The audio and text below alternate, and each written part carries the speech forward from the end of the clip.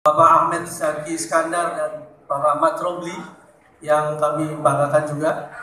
Dan keluarga yang hadir di tengah-tengah kita juga Pak Ismet dan Bu Chandra dan seluruh keluarga.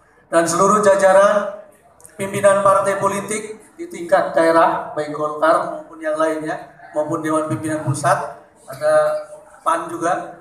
Dan yang kami hormati tentunya para pimpinan partai politik dan seluruh kader dan relawan hadirin yang hadir di tengah-tengah kita untuk menyaksikan dan sama-sama menyemangati bagaimana kita untuk menata Tangerang menjadi semakin gemilang atau Tangerang gemilang dilanjutkan.